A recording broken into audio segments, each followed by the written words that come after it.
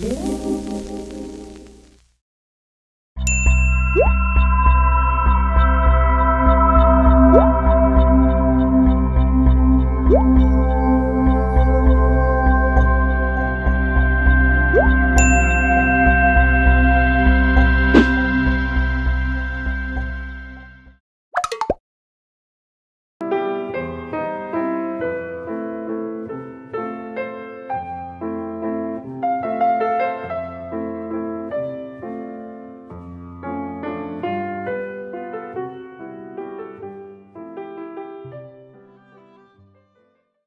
제52회 한국어 능력 시험 2 듣기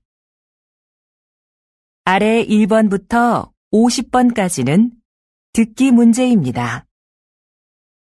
문제를 잘 듣고 질문에 맞는 답을 고르십시오.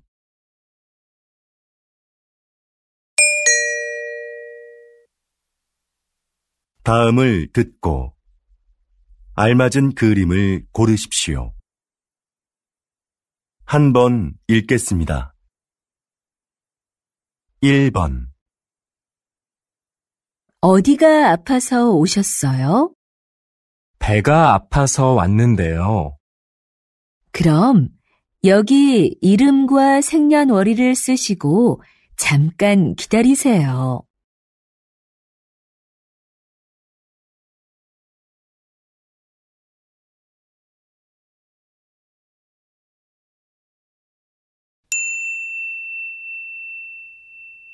2번 청소 다 했는데 설거지 좀 도와줄까요? 괜찮아요. 거의 다 했으니까 앉아서 좀 쉬어요. 그럼 설거지 끝나면 차 한 잔 같이 마셔요.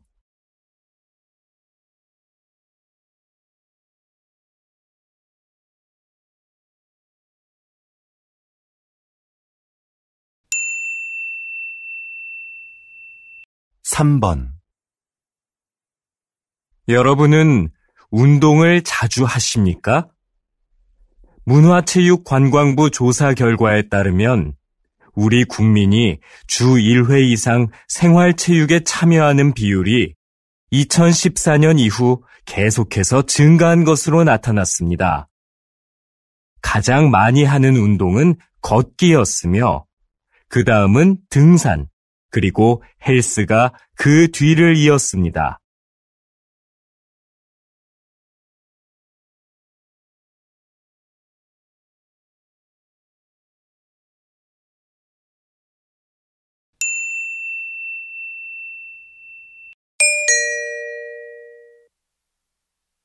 다음 대화를 잘 듣고 이어질 수 있는 말을 고르십시오. 한 번 읽겠습니다. 4번 왜 그래요? 뭐 잃어버렸어요? 제 가방이 어디에 있는지 모르겠어요.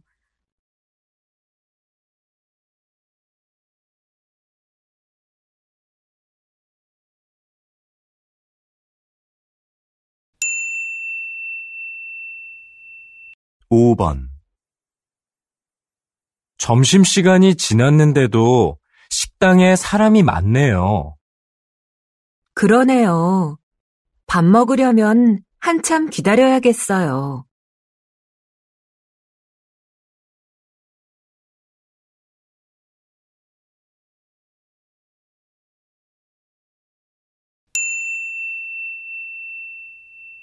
6번 수미 씨, 면접 시험은 어땠어요? 잘 본 것 같아요? 잘할 수 있었는데 떨려서 잘 못 본 것 같아요.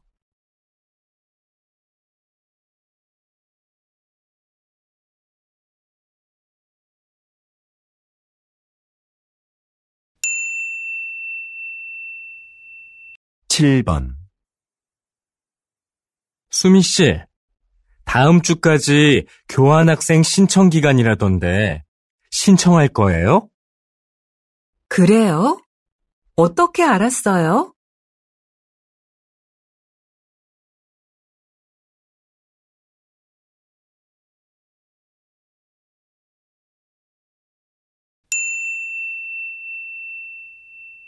팔번 저 화장품을 주문했었는데요. 제가 주문한 제품과 다른 게 와서요. 아, 죄송합니다, 고객님. 물건을 저희에게 보내주시면 확인하고 주문하신 제품으로 다시 보내드리겠습니다.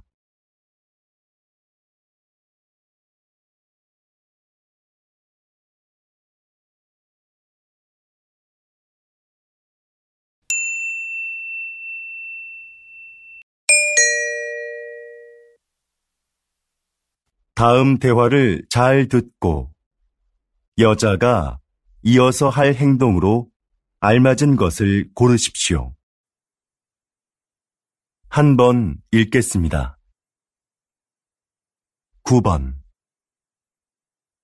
민수 씨, 지난번에 산 내 검은색 코트 못 봤어요? 그거 월요일에 세탁소에 맡겼잖아요. 내가 찾아다 줄까요? 괜찮아요. 그냥 내가 가서 찾아올게요. 그럼 들어올 때 우편물도 좀 갖다 줘요.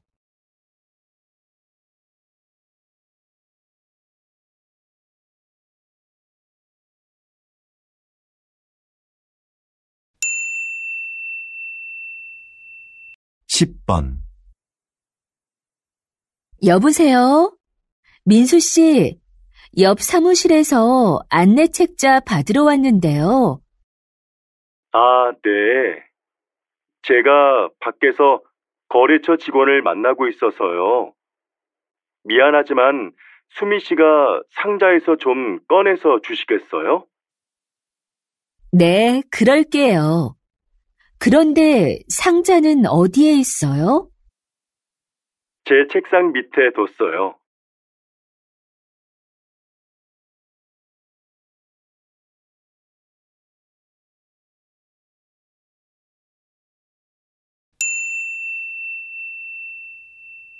십일 번 여보, 욕실 전등을 좀 바꿔야겠어요. 그래요? 집에 전등 사다 놓은 거 있으면 가져와 봐요. 잠깐만요. 어디 있는지 찾아볼게요. 없으면 말해요. 내가 사러 갈게요.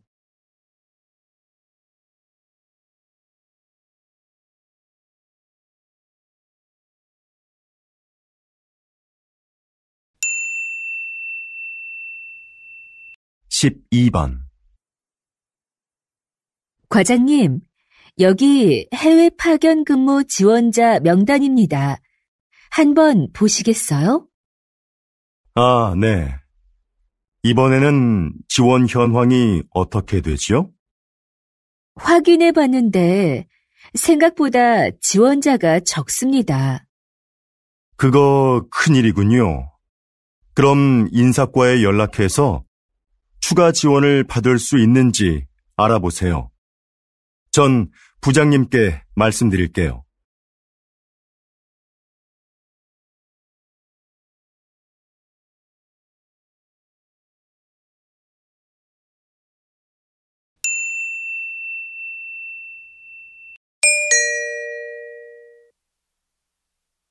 다음을 듣고 내용과 일치하는 것을 고르십시오.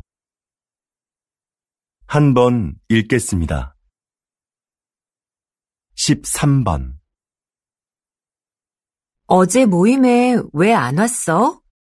연락도 없어서 궁금했잖아. 응. 어제 가벼운 교통사고가 나서 처리하느라 시간이 오래 걸렸거든. 정말? 자동차 산 지 얼마 안 됐는데 속상하겠다. 어디 다친 데는 없고? 응, 다행히 다친 데는 없어.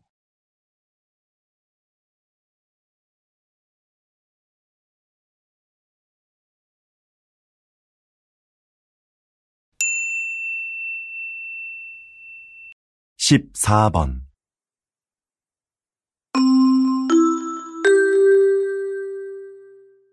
고객님들께 쇼핑 안내드립니다. 행사장에서는 청바지를 만 원에 세일하고 있습니다. 이 행사는 오늘 하루만 진행되니 고객 여러분들의 많은 관심 부탁드립니다.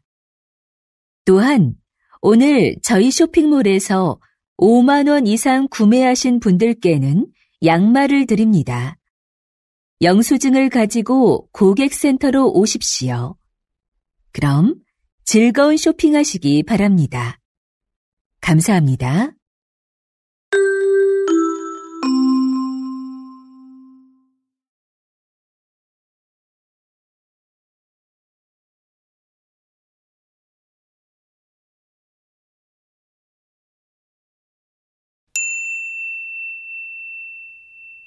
십오 번 날씨 소식입니다. 현재 전국에 비가 내리고 제주도에는 폭우가 쏟아지고 있는데요. 이 비는 내일 아침에 대부분 그치겠고 낮부터는 점차 맑아지겠습니다. 모레 아침에는 꽃샘추위가 찾아와 전국이 일시적으로 영하의 날씨를 보이겠는데요. 외출하실 때 따뜻하게 입으시는 것이 좋겠습니다.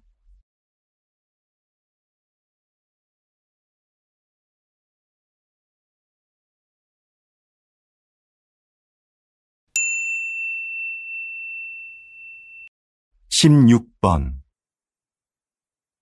국내 배구 선수로는 처음으로 해외 무대에 진출한 김미경 선수 나와 계시는데요. 지난 1년 어떠셨는지 말씀 좀 해주시죠.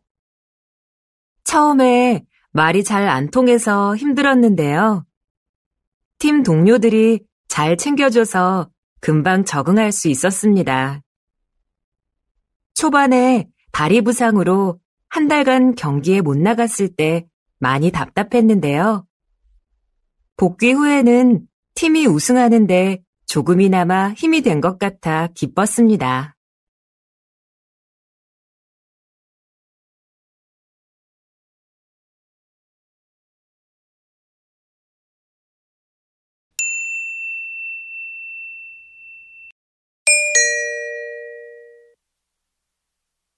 다음을 듣고 남자의 중심 생각을 고르십시오.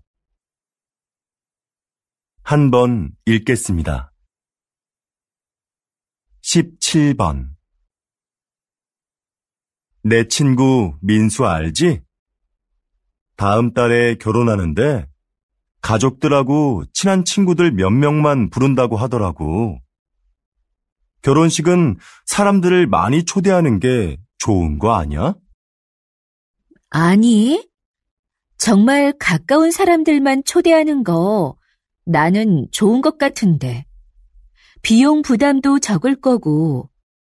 요즘 그런 작은 결혼식이 유행이거든. 그래도 평생에 한 번뿐인 결혼식인데 너무 작게 하면 서운할 것 같아.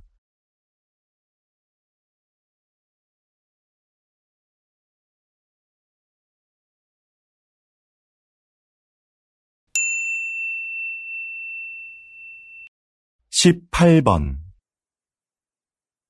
수미 씨, 내일 신제품 발표 자료는 다 만들었지요? 네, 여기 있습니다. 지난번에 말씀해 주신 부분 보충해서 준비했습니다. 과장님께서 먼저 한번 봐주시겠어요? 음, 내용이 너무 길고 복잡하네요. 제품의 특징을 짧지만 명확하게 소개해야 소비자들이 제품을 잘 이해할 수 있어요.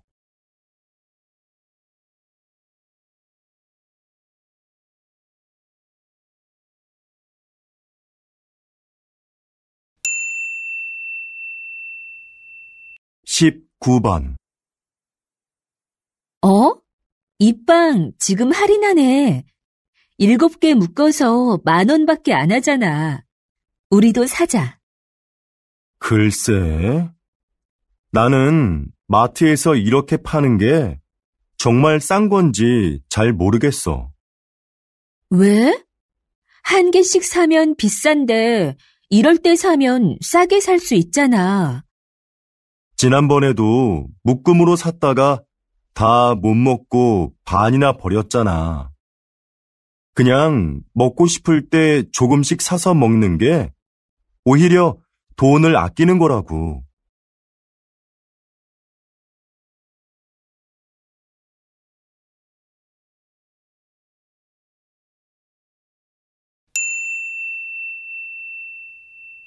이십 번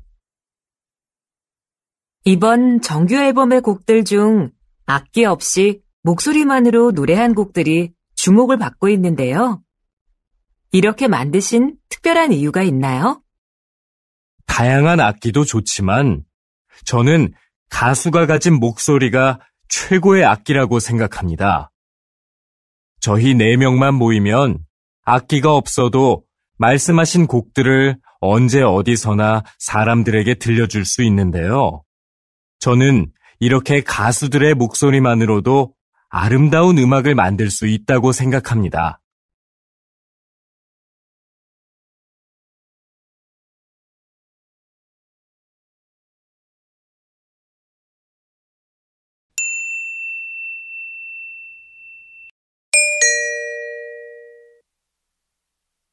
다음을 듣고 물음에 답하십시오. 두 번 읽겠습니다. 김 선생님, 올해 학교 홍보용품은 뭐가 좋을까요? 작년처럼 우리 학교 이름이 들어간 수첩으로 할까요? 글쎄요. 수첩은 학생들이 잘 사용하지 않아서 학교 홍보에 효과가 없는 것 같아요. 작년에 학생들 반응도 별로였고요. 이번에는 우산이 어떨까요? 우산은 자주 사용하는 거니까 우산에 학교 이름을 새기면 학교를 알리는데 좋을 거예요. 네, 알겠습니다. 그런데 무슨 색깔로 하는 게 좋을까요? 글쎄요. 그건 다음에 다른 선생님들과 같이 결정하도록 하죠. 다시 들으십시오. 김 선생님, 올해 학교 홍보용품은 뭐가 좋을까요? 작년처럼 우리 학교 이름이 들어간 수첩으로 할까요? 글쎄요. 수첩은 학생들이 잘 사용하지 않아서 학교 홍보에 효과가 없는 것 같아요. 작년에 학생들 반응도 별로였고요. 이번에는 우산이 어떨까요? 우산은 자주 사용하는 거니까 우산에 학교 이름을 새기면 학교를 알리는데 좋을 거예요. 네, 알겠습니다. 그런데 무슨 색깔로 하는 게 좋을까요? 글쎄요. 그건 다음에 다른 선생님들과 같이 결정하도록 하죠. 21번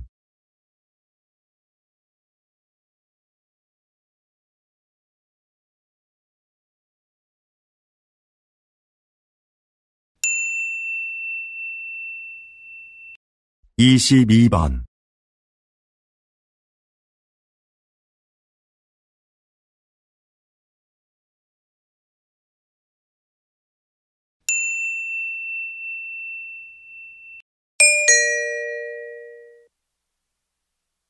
다음을 듣고 물음에 답하십시오. 두 번 읽겠습니다. 여보세요? 어린이 박물관이죠? 오늘 2시표 예매했는데요. 혹시 일찍 도착하면 1시에도 들어갈 수 있는지 해서요. 네, 안녕하세요. 그러시면 입구에서 2시 관람권은 환불받으시고 1시 관람권을 새로 사시면 됩니다. 네, 알겠습니다. 그런데 혹시 박물관 안에 식사가 가능한 곳이 있나요? 따로 식당은 마련되어 있지 않습니다. 대신 3층에 가족 쉼터가 있는데요. 거기에서 준비해 오신 음식을 드실 수 있습니다. 다시 들으십시오. 여보세요? 어린이 박물관이죠? 오늘 2시 표 예매했는데요. 혹시 일찍 도착하면 1시에도 들어갈 수 있는지 해서요. 네, 안녕하세요. 그러시면 입구에서 2시 관람권은 환불받으시고 1시 관람권을 새로 사시면 됩니다. 네, 알겠습니다. 그런데 혹시 박물관 안에 식사가 가능한 곳이 있나요? 따로 식당은 마련되어 있지 않습니다. 대신 3층에 가족 쉼터가 있는데요. 거기에서 준비해 오신 음식을 드실 수 있습니다. 23번.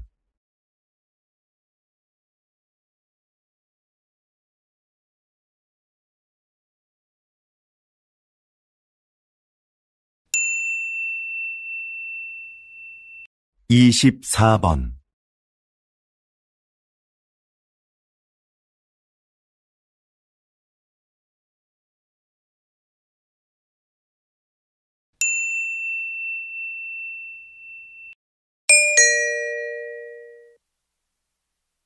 다음을 듣고 물음에 답하십시오. 두 번 읽겠습니다. 사장님께서는 어려운 이웃을 돕고 가난한 학생들을 지원하는 등 훌륭한 일을 많이 하고 계시는데요. 최근에는 시민 영웅상을 만드셨다고 들었습니다. 그게 어떤 상인가요? 네. 우리 주변에는 알려지지 않았지만 사회에 모범이 되는 분들이 있는데요. 그런 분들을 찾아서 상을 드리는 것입니다. 수상자가 원하지 않으면 시상식은 언론에 공개하지 않고 조용하게 진행합니다. 그동안 총 31명의 시민 영웅을 찾아 상장과 상금을 드렸는데요. 상금을 이웃을 위해 다시 기부하는 분도 계셨습니다. 또 화재 현장에서 아이를 구조한 대학생 수상자도 있었는데 졸업 후에 저희가 채용하기도 했습니다. 이렇게 사회로부터 받은 이익을 다시 사회로 돌려주는 것이 기업의 책임이라고 생각합니다. 다시 들으십시오. 사장님께서는 어려운 이웃을 돕고 가난한 학생들을 지원하는 등 훌륭한 일을 많이 하고 계시는데요. 최근에는 시민 영웅상을 만드셨다고 들었습니다. 그게 어떤 상인가요? 네. 우리 주변에는 알려지지 않았지만 사회에 모범이 되는 분들이 있는데요. 그런 분들을 찾아서 상을 드리는 것입니다. 수상자가 원하지 않으면 시상식은 언론에 공개하지 않고 조용하게 진행합니다. 그동안 총 31명의 시민 영웅을 찾아 상장과 상금을 드렸는데요. 상금을 이웃을 위해 다시 기부하는 분도 계셨습니다. 또 화재 현장에서 아이를 구조한 대학생 수상자도 있었는데 졸업 후에 저희가 채용하기도 했습니다. 이렇게 사회로부터 받은 이익을 다시 사회로 돌려주는 것이 기업의 책임이라고 생각합니다. 25번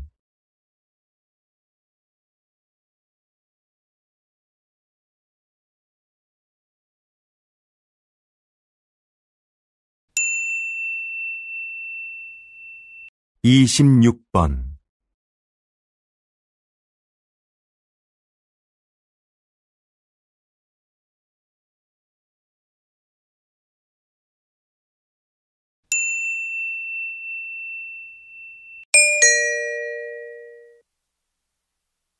다음을 듣고 물음에 답하십시오. 두 번 읽겠습니다. 뉴스를 보니까 정부에서 다음 달 6일을 임시 공휴일로 지정했다던데? 그래? 5일하고 7일이 쉬는 날이라서 그런 모양이구나. 그날 쉬는 사람들은 좋겠다. 지난번 임시 공휴일에도 놀러 가는 사람이 많았대. 우리 회사도 쉬면 좋을 텐데. 임시 공휴일에는 우리도 쉬어야 하는 거 아냐? 맞아. 그날 회사에 나와야 하는데 아이 유치원이 쉬니까 당장 아이 맡길 때를 알아봐야 해. 우리처럼 못 쉬는 사람한테는 임시 공휴일이 별 소용이 없는 것 같아. 다시 들으십시오. 뉴스를 보니까 정부에서 다음 달 6일을 임시 공휴일로 지정했다던데? 그래? 5일하고 7일이 쉬는 날이라서 그런 모양이구나. 그날 쉬는 사람들은 좋겠다. 지난번 임시 공휴일에도 놀러 가는 사람이 많았대. 우리 회사도 쉬면 좋을 텐데. 임시 공휴일에는 우리도 쉬어야 하는 거 아냐? 맞아. 그날 회사에 나와야 하는데 아이 유치원이 쉬니까 당장 아이 맡길 때를 알아봐야 해. 우리처럼 못 쉬는 사람한테는 임시 공휴일이 별 소용이 없는 것 같아. 27번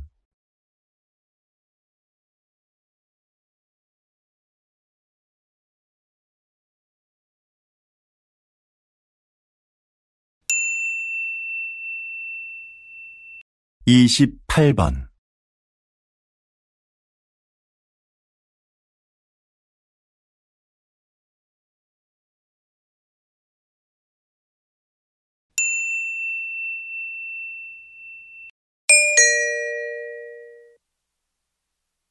다음을 듣고 물음에 답하십시오. 두 번 읽겠습니다. 정원의 꽃들이 참 예쁘네요. 선생님은 여기에서 어떤 일을 하시나요?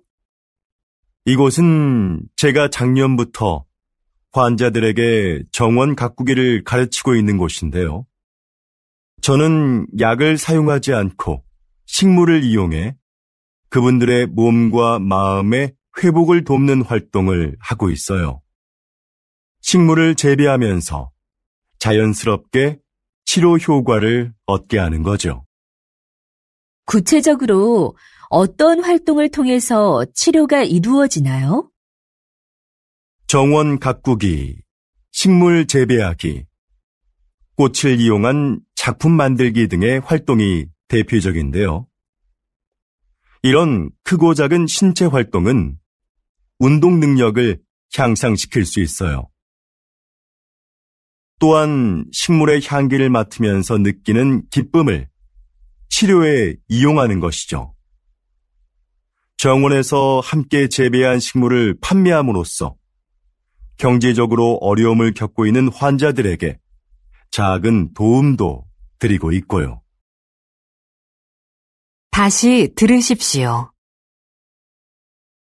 정원의 꽃들이 참 예쁘네요. 선생님은 여기에서 어떤 일을 하시나요? 이곳은 제가 작년부터 환자들에게 정원 가꾸기를 가르치고 있는 곳인데요. 저는 약을 사용하지 않고 식물을 이용해 그분들의 몸과 마음의 회복을 돕는 활동을 하고 있어요. 식물을 재배하면서 자연스럽게 치료 효과를 얻게 하는 거죠. 구체적으로 어떤 활동을 통해서 치료가 이루어지나요? 정원 가꾸기, 식물 재배하기, 꽃을 이용한 작품 만들기 등의 활동이 대표적인데요. 이런 크고 작은 신체 활동은 운동 능력을 향상시킬 수 있어요. 또한 식물의 향기를 맡으면서 느끼는 기쁨을 치료에 이용하는 것이죠. 정원에서 함께 재배한 식물을 판매함으로써 경제적으로 어려움을 겪고 있는 환자들에게 작은 도움도 드리고 있고요. 29번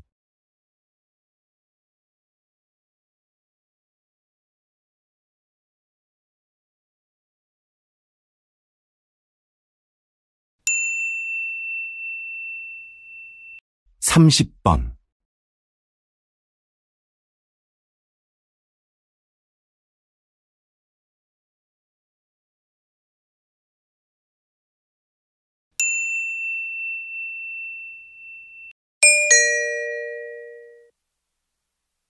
다음을 듣고 물음에 답하십시오.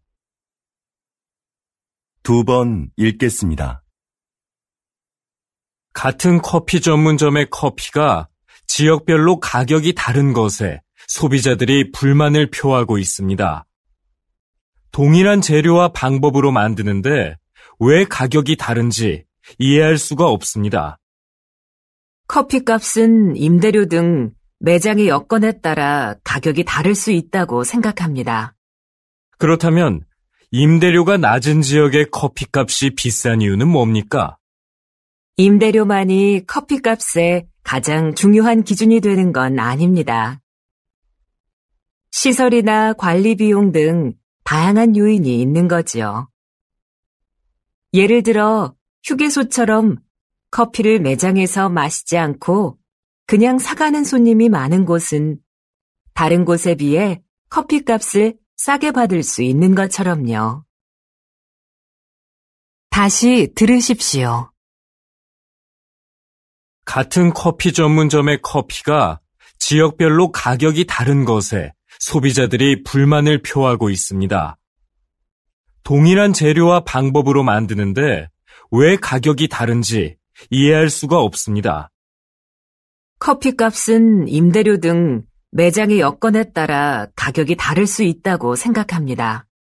그렇다면 임대료가 낮은 지역의 커피 값이 비싼 이유는 뭡니까? 임대료만이 커피값의 가장 중요한 기준이 되는 건 아닙니다. 시설이나 관리 비용 등 다양한 요인이 있는 거지요. 예를 들어 휴게소처럼 커피를 매장에서 마시지 않고 그냥 사가는 손님이 많은 곳은 다른 곳에 비해 커피 값을 싸게 받을 수 있는 것처럼요. 31번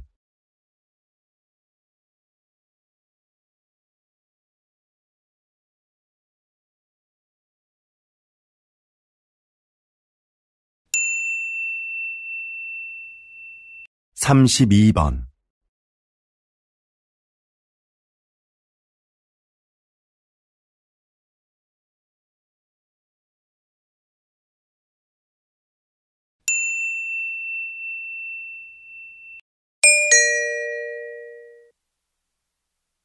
다음을 듣고 물음에 답하십시오. 두 번 읽겠습니다. 제 고향에 소목이라고 부르는 곳이 있습니다. 좀 독특한 지명이죠? 지형이 소가 누워있는 형상인데 소의 목 부분에 있는 마을이라고 해서 그렇게 불린다고 하네요. 이렇게 지명을 들여다보면 그 마을의 특징을 알 수 있는 경우가 있습니다. 동네 뒷산에 토끼가 많이 산다고 해서 토끼 실이라 불리는 곳도 있습니다. 땅끝 마을은 우리나라의 육지 중 가장 남쪽 끝에 있는 마을이라서 붙여진 이름이고요. 그럼 두물머리라는 지명은 왜 나온 것일까요? 네, 그렇습니다. 그곳은 한강의 두 물길이 하나로 만나는 곳에 위치한 마을이라서 그렇게 불립니다. 여러분이 사는 곳의 이름에는 어떤 의미가 있는지 한번 찾아보시죠. 다시 들으십시오. 제 고향에 소목이라고 부르는 곳이 있습니다. 좀 독특한 지명이죠? 지형이 소가 누워있는 형상인데 소의 목 부분에 있는 마을이라고 해서 그렇게 불린다고 하네요. 이렇게 지명을 들여다보면 그 마을의 특징을 알 수 있는 경우가 있습니다. 동네 뒷산에 토끼가 많이 산다고 해서 토끼실이라 불리는 곳도 있습니다. 땅끝 마을은 우리나라의 육지 중 가장 남쪽 끝에 있는 마을이라서 붙여진 이름이고요. 그럼 두물머리라는 지명은 왜 나온 것일까요? 네, 그렇습니다. 그곳은 한강의 두 물길이 하나로 만나는 곳에 위치한 마을이라서 그렇게 불립니다. 여러분이 사는 곳의 이름에는 어떤 의미가 있는지 한번 찾아보시죠. 33번.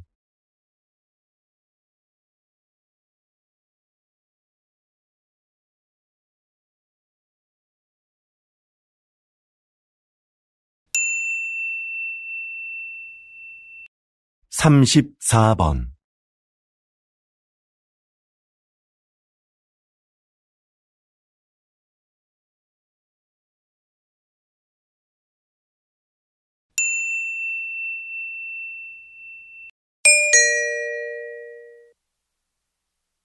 다음을 듣고 물음에 답하십시오.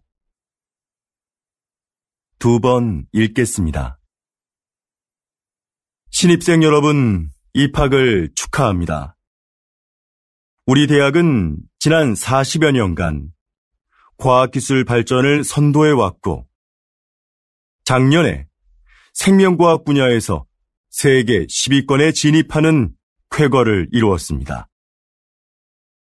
이곳에서 여러분은 학업과 기업 현장 실습을 병행하며 전문성을 키워 사회적 역할을 다하는 인재로 성장할 겁니다. 하지만 저는 훌륭한 인격을 갖추는 것이 전문 지식이나 실력보다 더 중요하다는 말씀을 드리고 싶습니다.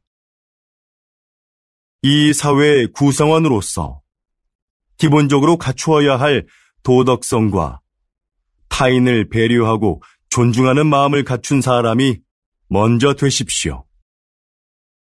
그리고 그 인격을 바탕으로 전문가로서의 역량을 키워간다면 여러분들도 분명히 선배 졸업생들처럼 국내외에서 활발히 활동하며 각자의 분야에서 존경받는 전문가로 성장할 수 있을 겁니다. 다시 들으십시오. 신입생 여러분, 입학을 축하합니다.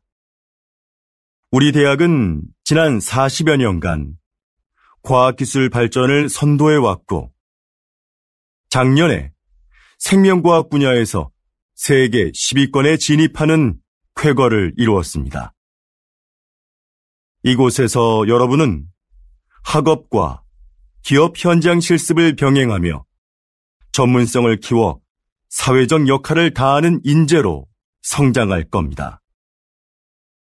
하지만 저는 훌륭한 인격을 갖추는 것이 전문 지식이나 실력보다 더 중요하다는 말씀을 드리고 싶습니다. 이 사회의 구성원으로서 기본적으로 갖추어야 할 도덕성과 타인을 배려하고 존중하는 마음을 갖춘 사람이 먼저 되십시오. 그리고 그 인격을 바탕으로 전문가로서의 역량을 키워간다면 여러분들도 분명히 선배 졸업생들처럼 국내외에서 활발히 활동하며 각자의 분야에서 존경받는 전문가로 성장할 수 있을 겁니다. 35번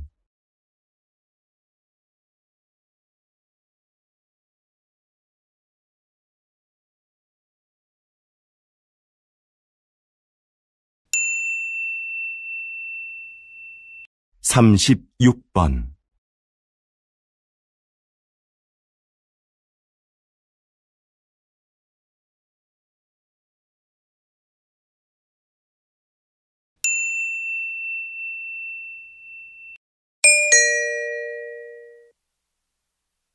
다음은 교양 프로그램입니다.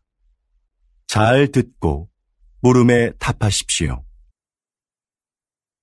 두 번 읽겠습니다. 요즘 수면 산업이 빠른 성장세를 보이고 있습니다. 입욕제나 수면 안대 같은 숙면을 도와주는 제품들도 많이 나오고 있는데요. 이런 제품들이 수면 장애의 진정한 해법이 될 수 있을까요? 네. 불면증에 시달리는 사람들이 수면 보조 제품을 찾는 경우가 많죠. 그런데 무작정 이런 제품을 사용하기보다는 수면 장애가 왜 생겼는지 그 원인을 먼저 생각해 봐야 합니다. 그리고 그에 맞는 방법을 찾아 해결하려는 노력이 필요합니다. 수면 장애는 심리적인 상태나 생활 습관 같은 여러 가지 요인에 의해 발생하기 때문인데요. 문제의 근원을 모른 채 이런 제품에 의지하는 건 장기적으로 봤을 때는 의미가 없습니다. 다시 들으십시오. 요즘 수면 산업이 빠른 성장세를 보이고 있습니다. 입욕제나 수면 안대 같은 숙면을 도와주는 제품들도 많이 나오고 있는데요. 이런 제품들이 수면 장애의 진정한 해법이 될 수 있을까요? 네. 불면증에 시달리는 사람들이 수면 보조 제품을 찾는 경우가 많죠. 그런데 무작정 이런 제품을 사용하기보다는 수면 장애가 왜 생겼는지 그 원인을 먼저 생각해 봐야 합니다. 그리고 그에 맞는 방법을 찾아 해결하려는 노력이 필요합니다. 수면 장애는 심리적인 상태나 생활 습관 같은 여러 가지 요인에 의해 발생하기 때문인데요. 문제의 근원을 모른 채 이런 제품에 의지하는 건 장기적으로 봤을 때는 의미가 없습니다. 37번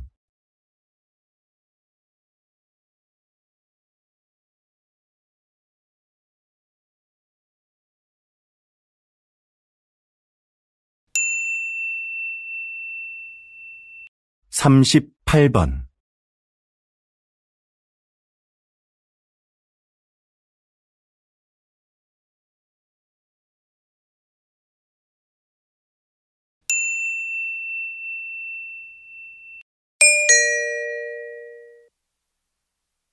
다음은 대담입니다. 잘 듣고 물음에 답하십시오. 두 번 읽겠습니다. 초기에 서울시에서 이 사업을 시작할 때에는 차량 정체 등의 이유로 주민들의 반대도 있었는데요. 지금은 어떤가요? 앞에서 말씀드린 것과 같이 서울시는 2차선이었던 차도를 1차선으로 줄이고 차들이 한 방향으로만 통행하도록 바꿨습니다. 그렇게 해서 남는 공간은 주차장으로 활용해 주차 공간 부족 문제를 해결했습니다. 그동안 도로에 불법 주차된 차로 인해 막히던 도로 상황도 이를 통해서 크게 나아졌지요. 또한 인도를 넓히고 도로의 제한 속도도 낮추면서 사고도 줄어들었습니다. 사전 설명에서 나온 주민들의 의견을 사업에 적극 반영한 것도 큰 호응을 얻었고요. 그래서 지금은 처음 우려했던 것과는 달리 주민 만족도가 상당히 높습니다. 다시 들으십시오. 초기에 서울시에서 이 사업을 시작할 때에는 차량 정체 등의 이유로 주민들의 반대도 있었는데요. 지금은 어떤가요? 앞에서 말씀드린 것과 같이 서울시는 2차선이었던 차도를 1차선으로 줄이고 차들이 한 방향으로만 통행하도록 바꿨습니다. 그렇게 해서 남는 공간은 주차장으로 활용해 주차 공간 부족 문제를 해결했습니다. 그동안 도로에 불법 주차된 차로 인해 막히던 도로 상황도 이를 통해서 크게 나아졌지요. 또한 인도를 넓히고 도로의 제한 속도도 낮추면서 사고도 줄어들었습니다. 사전 설명에서 나온 주민들의 의견을 사업에 적극 반영한 것도 큰 호응을 얻었고요. 그래서 지금은 처음 우려했던 것과는 달리 주민 만족도가 상당히 높습니다. 39번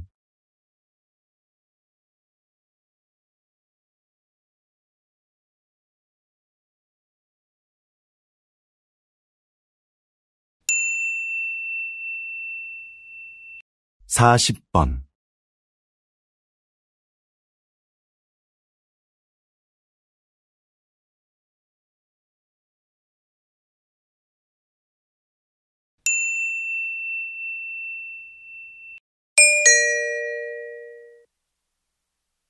다음은 강연입니다.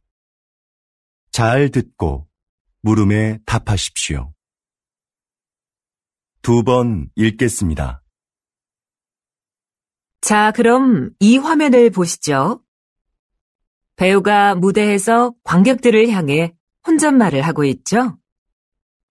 다른 배우들은 마치 이 배우의 말이 들리지 않는 것처럼 무대에서 자신의 연기를 계속하고요. 이렇게 무대 위의 다른 인물에게는 들리지 않고 관객만 들을 수 있도록 약속된 대사가 방백입니다. 방백은 연극 공연 중에 배우가 관객에게 극의 흐름이나 등장인물의 의도를 알려주기 위해 사용되는데요. 방백만큼 등장인물의 숨겨진 심리를 분명하게 보여주는 것은 없습니다. 그래서 관객은 방백을 통해 등장인물을 더 깊이 이해하게 되죠. 로마 시대부터 발달한 방백은 19세기 말에는 사용되지 않았습니다. 자연스럽지 못하다는 이유로요. 그러나 현대극에서는 필요에 따라 사용되며 등장인물에 대한 공감을 이끌어내고 있습니다. 다시 들으십시오. 자, 그럼 이 화면을 보시죠. 배우가 무대에서 관객들을 향해 혼잣말을 하고 있죠? 다른 배우들은 마치 이 배우의 말이 들리지 않는 것처럼 무대에서 자신의 연기를 계속하고요. 이렇게 무대 위의 다른 인물에게는 들리지 않고 관객만 들을 수 있도록 약속된 대사가 방백입니다.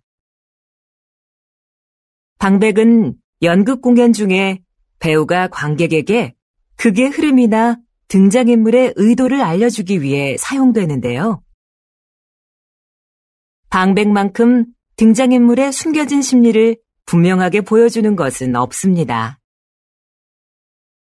그래서 관객은 방백을 통해 등장인물을 더 깊이 이해하게 되죠. 로마 시대부터 발달한 방백은 19세기 말에는 사용되지 않았습니다. 자연스럽지 못하다는 이유로요. 그러나 현대극에서는 필요에 따라 사용되며 등장인물에 대한 공감을 이끌어내고 있습니다. 41번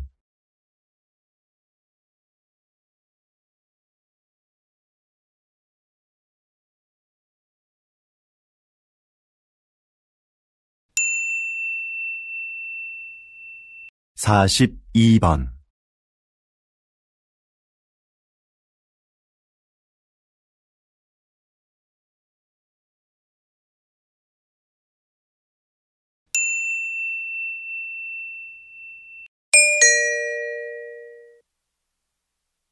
다음은 다큐멘터리입니다. 잘 듣고 물음에 답하십시오. 두 번 읽겠습니다. 어두운 밤. 나방들이 빛을 향해 모여든다. 나비와 비슷하지만 나비와는 다른 대접을 받아온 나방. 사람들은 나방이 밤에만 나온다고 생각하지만 꽃에 앉아 꽃가루를 모으고 있는 이 나방처럼 낮에 활동하는 것들도 있다. 색깔이 칙칙하다는 것도 우리의 편견이다. 나비보다 색이 다양하고 무늬가 화려한 경우도 많다. 나방의 몸에 붙어 있는 가루들도 사람들이 나방을 싫어하는 이유 중에 하나이다. 인체에 해로운 성분이라는 오해 때문이다. 그러나 이것이 병을 유발하거나 특별한 화학작용을 일으키는 경우는 없다. 나방의 애벌레는 식물의 잎을 먹어 해충으로 인식된다. 하지만 사실 숲의 생태계에서 보면 그들은 없어서는 안 될 존재이다. 대량 번식하는 나방의 애벌레는 새들의 가장 중요한 먹이인 것이다. 다시 들으십시오. 어두운 밤, 나방들이 빛을 향해 모여든다. 나비와 비슷하지만 나비와는 다른 대접을 받아온 나방. 사람들은 나방이 밤에만 나온다고 생각하지만 꽃에 앉아 꽃가루를 모으고 있는 이 나방처럼 낮에 활동하는 것들도 있다. 색깔이 칙칙하다는 것도 우리의 편견이다. 나비보다 색이 다양하고 무늬가 화려한 경우도 많다. 나방의 몸에 붙어 있는 가루들도 사람들이 나방을 싫어하는 이유 중에 하나이다. 인체에 해로운 성분이라는 오해 때문이다. 그러나 이것이 병을 유발하거나 특별한 화학작용을 일으키는 경우는 없다. 나방의 애벌레는 식물의 잎을 먹어 해충으로 인식된다. 하지만 사실 숲의 생태계에서 보면 그들은 없어서는 안 될 존재이다. 대량 번식하는 나방의 애벌레는 새들의 가장 중요한 먹이인 것이다. 43번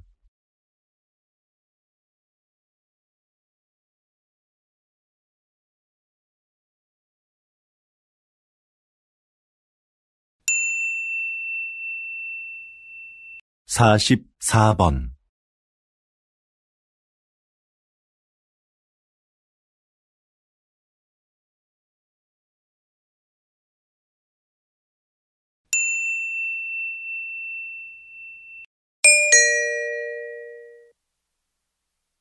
다음은 강연입니다. 잘 듣고 물음에 답하십시오. 두 번 읽겠습니다. 비닐 포장재도 환경 오염의 원인 중 하나입니다. 그래서 과학기술 분야에서는 친환경적인 소재 개발에 몰두해 왔는데요. 그 중 하나가 음식 성분을 이용한 포장재입니다. 먼저 시도됐던 것은 탄수화물로 만든 포장재인데요. 미세 구멍이 많은 이 포장재는 산소를 제대로 막아내기 어려워 기존 포장재를 대체하기에는 역부족이었죠. 최근에는 우유에 들어있는 단백질로 포장재를 만드는 데 성공했습니다. 이건 먹어도 해롭지 않고 버려도 잘 썩을 뿐만 아니라 산소도 더 잘 차단합니다. 앞으로 대량으로 생산할 수 있는 기술력이 확보된다면 비닐 포장재로 인한 심각한 환경오염 문제가 크게 개선될 겁니다. 이렇게 과학기술은 생활의 편리함을 가져올 뿐만 아니라 환경 문제를 해결하는 데도 적극 활용되고 있습니다.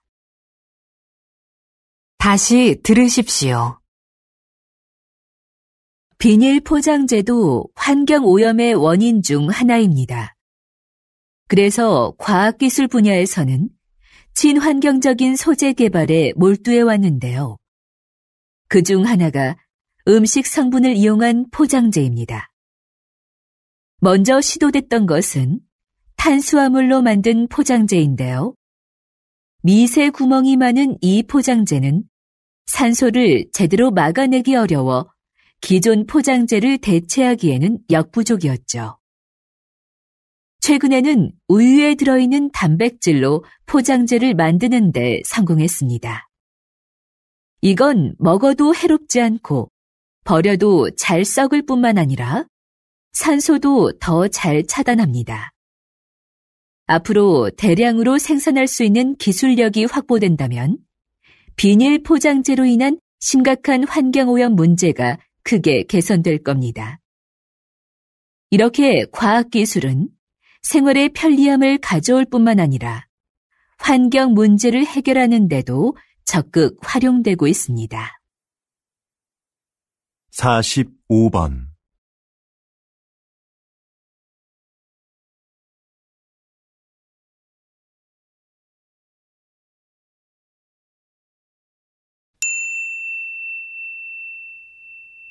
46번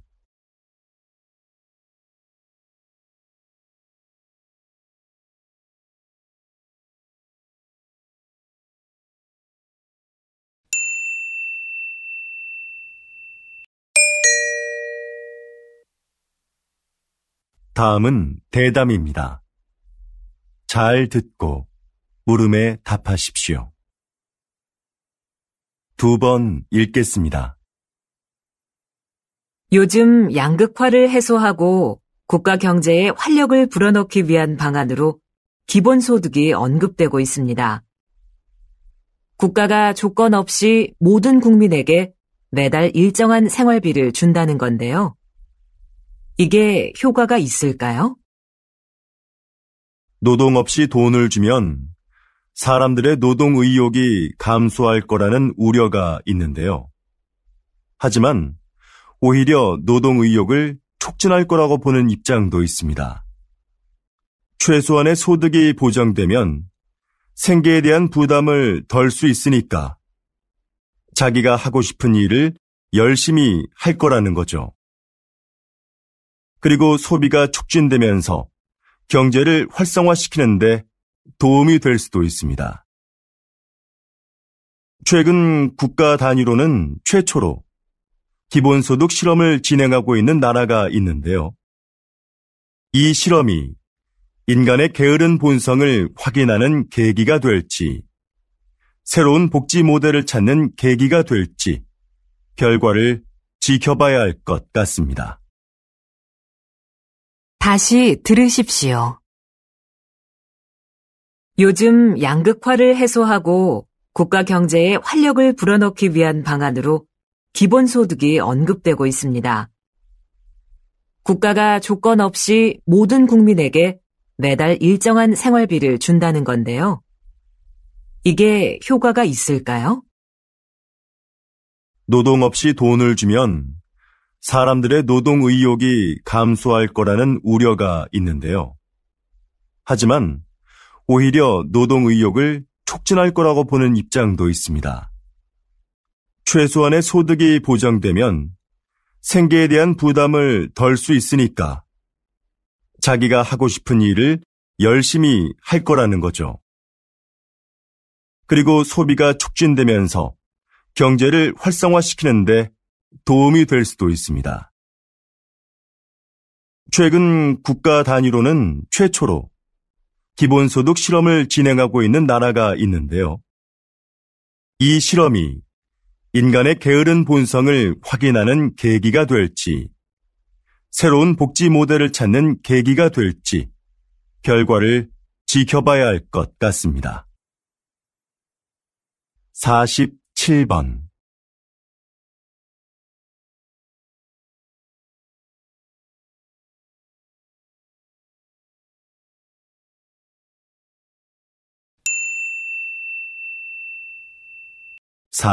48번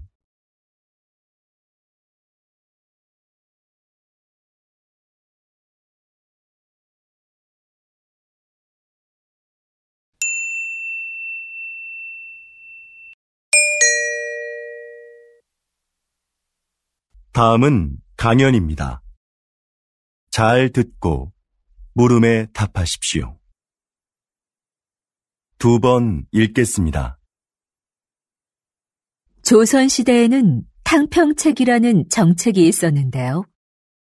조선시대에도 오늘날의 정당 정치처럼 서로 입장을 같이 하는 사람들끼리 정치 세력을 형성하고 반대되는 집단과 대립하기도 하는 정치 형태가 있었습니다. 이런 정치 세력을 붕당이라고 하는데요. 초반에는 붕당을 중심으로 여론을 모으고 서로를 견제하면서 효율적인 국정 운영이 이루어졌습니다.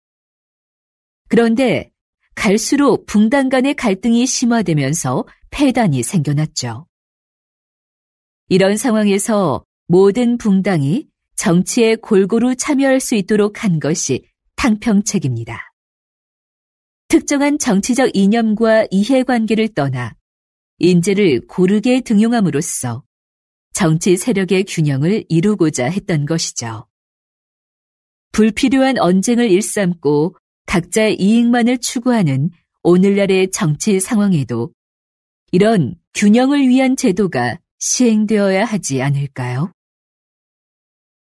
다시 들으십시오.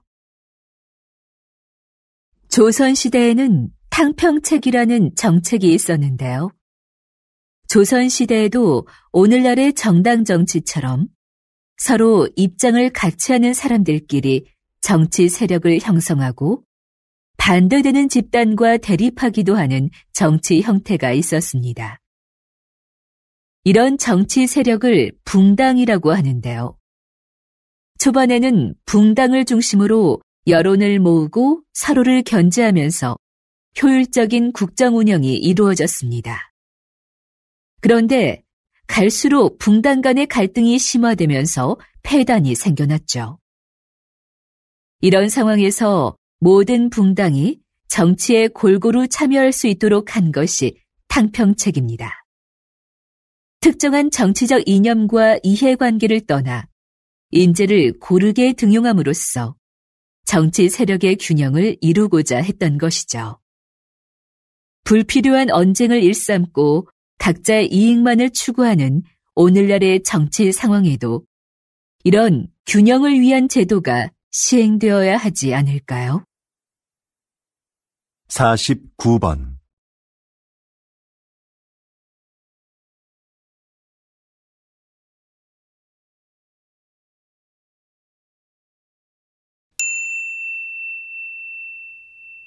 50번